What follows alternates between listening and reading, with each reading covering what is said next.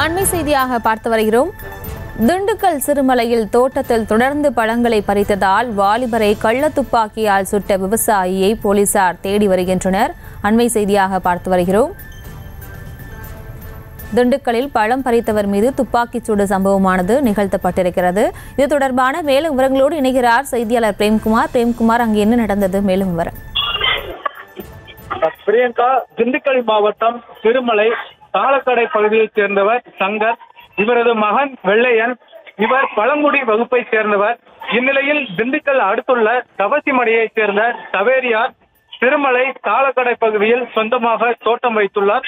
இவருக்கும் வெள்ளையன் அடிக்கடி சவேரியார் தோட்டத்தில் பழங்களை திருடி செல்வதாகவும் இதனால் இரு குடும்பத்தின் இடையே முன்பகை இருந்துள்ளது என கூறப்படுகிறது. இந்நிலையில் சவேரியார் தோட்டத்தின் வழியாக நேற்று இரவு மூன்று மணிக்கு வெள்ளையன் நடந்து சென்றதாக கூறப்படுகிறது. அப்பொழுது இருவருக்கும் இடையே வாக்குவாதம் ஏற்பட்டுள்ளது.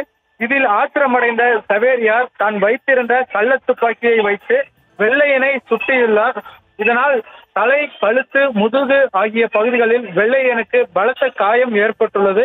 இதனை அடுத்து படுகாயமடைந்த வெள்ளையனை அக்கம் பக்கத்தினர் மீட்டு சிகிச்சைக்காக திண்டுக்கல் அரசு மருத்துவக் கல்லூரி மருத்துவமனைக்கு அழைத்து வந்தனர்.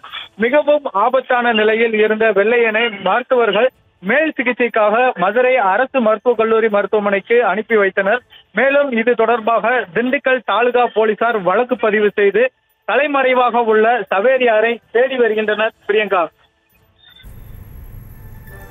விவரங்களுக்கு நன்றி பிரேம்குமார். செய்திகளை உடனுக்குடனும் துல்லியமாகவும் தெரிந்து கொள்ள சப்ஸ்கிரைப் பண்ணுங்க.